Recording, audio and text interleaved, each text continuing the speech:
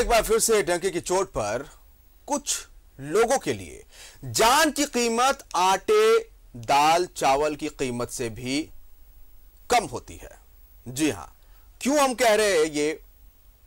इसके पीछे की एक वजह है, पहले आप इस रिपोर्ट को देखिए। किसी के जान की क्या कीमत है? कीमत भी है या बिना मोल का है ये जीवन? क्या जीवन का मोल आटे दाल के भाव से भी कम है। केवल पचास रुपए के लिए चली गई निर्दोष की जान। बात केवल पचास रुपए की थी और जावेद के पास रुपए नहीं थे। गुंडों ने इसे अपनी बेइज्जती समझी और फिर जावेद की गर्दन पर दनादन कई वार कर दिए और घटना स्थल पर ही जावेद की मौत हो गई। उसके साथ दो अन्य लोगों पर भी गुंडों ने जानलेवा हमला किया और दोनों फ़िलहाल अस्पताल में भर्ती हैं। सभी गिरिडीह छह नंबर के रहने वाले हैं और मुहर्रम का अखाड़ा देखकर वापस आ रहे थे। इस घटना ने जावेद के परिजनों को हिलाकर रख दिया है। झगड़ा किस चीज़ को लेकर के हुआ झगड़ा पचास रुपए कारण हुआ है। उधर से अखाड़ा देख के आया अरमान और इन लोग आया अरमान चल गया घर अपना। आया वहीं पर खड़ा था ये अपना खैनी बना खा रहा होगा कुछ भी। आया उधर से गाड़ी डायरेक्ट वहाँ उसका चक्का पर खड़ा कर दिया तेज से बोला पचास रुपया दो। भाई मेरा बोला यही कि कौन मांग रहा था पचास वही साकिब जो अस्तूरा मारा वही। अच्छा। वो बोल रहा था पचास रुपया दो। तो मेरा भाई बोला कि हम आपको चीन बंद करते तो पचास रुपया कल चीख दे। मेरे पास चेंज पैसा नहीं है। और इन लोगों से पचास रुपया का सर डिमांड किया। पचास रुपया दो टैबलेट लेना है। देने से इनकार किया। उसी पर इन लोगों ने जो है मारा। इस पर एक व्यक्ति का डेथ हो गया और दो व्यक्ति इंजोर्ड दोनों इंजोर्ड को हॉस्पिटल भेजा गया। और को हॉस्पिटल भेजा तीनों व्यक्ति उसकी पहचान हो चुकी है। तीनों गए घटना के बाद भारी संख्या में ग्रामीण जमा हो गए और भंडारडी चांदी चौक को जाम कर दिया। घटना की सूचना के बाद पुलिस पहुँची और मामले को शांत करने का प्रयास किया।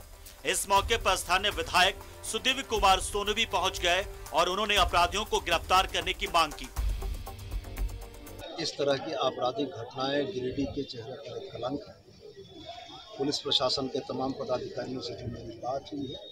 अपराधी चिन्हित किए जा चुके हैं और हमें उम्मीद है कि हमारी पुलिस बहुत जल्दी उन्हें कानून के दायरे में ले आएगी। इस दुखद घटना का एक मानवीय पहलू और है कि मृतक की पत्नी और उसके बच्चे बड़े ही गरीब स्थिति में हैं।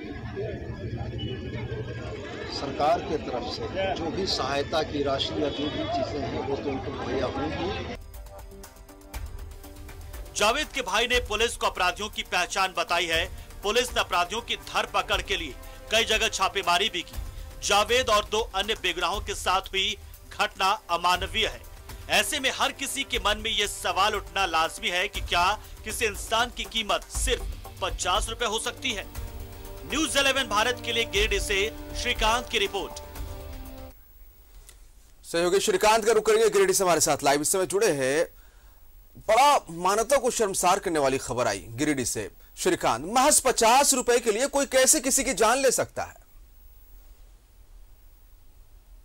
जी देखिए निश्चित तौर से आपने बहुत जो है समाज को झकझोरने वाला भी यह सवाल है कि आखिर आज के युग में जहाँ लोग एक दूसरे के जान बचाने के लिए हाथ बढ़ा रहे हैं। वहाँ पर महज पचास रुपए, जिसकी कोई कीमत अगर आप देखें तो आज के युग में जैसा कहा कि अपने आटे चावल से भी सस्ती कीमत हो गई है जान की, और वो आखिर किस लिए हो गई है? ये समाज के लिए भी चिंता का विषय है कि आखिर इस तरीके की जो वारदात सामने आ रही है, जो लोग छोटी छोटी बातों पर हिंसक हो रहे हैं, दरअसल सिर्फ़ अपराधी को पकड़ना या फिर अपराधी को सजा दिलाना, उन्हें सलाखों के पीछे डालना ये तो हो गया कानून अनुसारी प्रक्रिया है। लेकिन उसके इतर एक बात है कि समाज आखिर जाग कहाँ रहा है। सबसे बड़ी बात है आजकल के जो युवा वर्ग है जी, सबसे बड़ी बात है कि जो नशे की जद में आ चुके हैं चाहे वो टैबलेट का नशा हो या फिर गांजा जो आसानी से हर गाँव गली मोहल्ले सारे कस्बों में मिलता है सौ रुपए पचास रुपए की पुड़िया आती है उस नशे को करने के बाद युवा जो है एक अलग ही दुनिया में चले जाते हैं। तो सबसे बड़ा कारण ये भी हो रहा है कि छोटे छोटे रुपए के लिए अब अपने नशे की ज़रूरत को पूरे करने के लिए जो युवा वर्ग है वो भटकाव की ओर चला गया है और इसका अंजाम जो होता है वो सीधा आपको अपराध की गली में वो ढकेले जाते हैं। और एक बार वो अंतहीन सिलसिला जब शुरू हो जाता है तो वो फिर सिलसिला आजीवन चलता रहता है। इसी तरीके से कल रात को जो युवक है वो मुहर्रम का अखाड़ा देखने के बाद अपने घर को वापस लौट रहा था। जो कि मजदूरी कर कर अपना परिवार का भरण पोषण करता था, उसे कुछ लोग रोकते हैं, जैसा कि परिजनों ने बताया है। पुलिस ने भी यह बयान दिया है। उनसे पचास रुपए की मांग की जाती है। उसने साफ़ तौर पर कहा कि पचास रुपए मेरे पास नहीं है। उसके बाद धारदार हथियार से उसके ऊपर कई बार जानलेवा हमला किया जाता है, जिसके बाद वो जो इंसान है, वो चित होकर वहीं पर गिर पड़ता है। जिसके बाद, गिरने के बाद उसकी मौत घटना स्थल पर हो जाती है। सारी घटना सुबह रात के आसपास की है। उसके बाद परिजन आते हैं आनंद फानंद में, लेकिन तब तक जो है युवक की जान चली जाती है। तीन युवक इस घटना के पीछे बताए जा रहे हैं, जिन्होंने पचास रुपए की मांग की थी नशे की ज़रूरत को पूरी करने के लिए। उन तीनों युवकों को पुलिस जो है, खोज रही है, छापेमारी लगातार की जा रही है। अलग अलग गश्ती दल की टीम को रवाना किया गया है। खुद ज़िले के एसपी जो अमित रेणु है डीएसपी संजय राणा हो गए या फिर पचम्बा थाना प्रभारी नगर थाना सारी पुलिस की टीम जो है मोबाइल लोकेशन के आधार पे टेक्निकल सेल के आधार पे सीसीटीवी कैमरा के आधार पे ऐसा हो चुका है कि उन तीनों अपराधियों की पहचान की जा चुकी है लेकिन अभी तक वो तीनों अपराधी हाथ नहीं आएँगे। बहरहाल अभी हमने कुछ देर पहले ही पुलिस से बात की तो उनका कहना है कि लगातार छापेमारी की जा रही है और जल्द ही जो अपराधी है वो हमारे हाथ में होंगे। लेकिन अक्सर हाँ देखने को आ रहा है कि छोटी छोटी बातों पे लोग अपना आपा खो रहे हैं। चाहे वो पचास रुपए की बात हो या फिर तूतू मैमे की बात पर कई बार गोली चल जाती है लेकिन यहाँ पर एक युवक को पचास रुपए उसके पास अगर होते हैं तो शायद उसे ये अपराधी छोड़ देते हैं। पचास रुपए नहीं रहने की वजह से जान की कीमत आप समझ सकते हैं। और जीवन स्तर कितना नीचे हो चुका है। समाज में लोग किस तरीके से जीवन जी रहे हैं और लोग किस तरीके से कितने तनाव में जीवन जी रहे हैं। महँगाई अपने चरम पर है। इन सारे का फलाफल और नतीजा यह है कि अब लोगों को सामाजिक जीवन को विकसित करने के लिए अब ध्यान देना चाहिए, क्योंकि अपराधी तो निश्चित तौर से पकड़े जाएँगे। आज हो या कल हो या परसों हो, पुलिस अपना काम करेगी। लेकिन आखिरकार ये घटना हुई पचास रुपए अगर किसी की जान की कीमत हो जाएगी तो आप अंदाज़ा लगा सकते हैं कि आने वाले समय में लोगों का घरों से निकलना मुश्किल हो जाएगा। बिल्कुल पुलिस को यह चाहिए जी।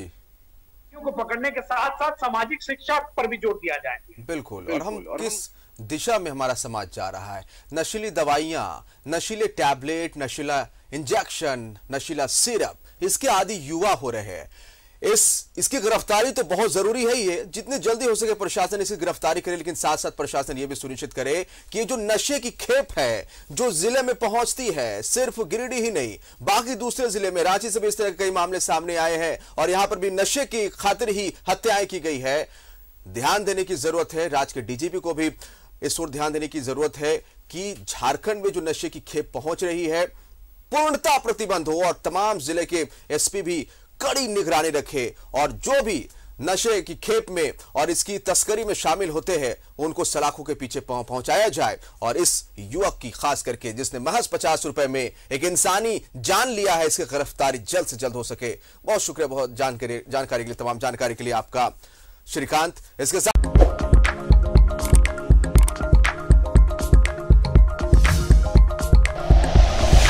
like and share videos, subscribe करें हमारा चैनल और प्रेस करें बेल आइकॉन। न्यूज़ 11 भारत, सच है तो दिखेगा।